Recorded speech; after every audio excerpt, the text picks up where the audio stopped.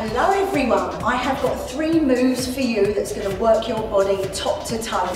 Take a nice wide stance, bend your knees. Okay, looking good. Now get your elbows involved. This is a one-stop shop for a total body workout. Clench your fists for added intensity. This engages your muscles in your arms and down your back. This is working the obliques in your waistline, which gives you that hourglass figure. Nice wide stance. Punch up, punch up. That's it, clench your fists, rock your hips back and forth. This is working your abdominal muscles that run right down the front of your stomach.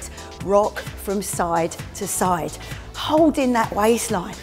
Lead with your shoulders, push up with your heel, opposite heel to shoulder. If you're unsure whether your waistline's working, hold on to it. You can feel your muscles moving underneath your skin. Brilliant, well done.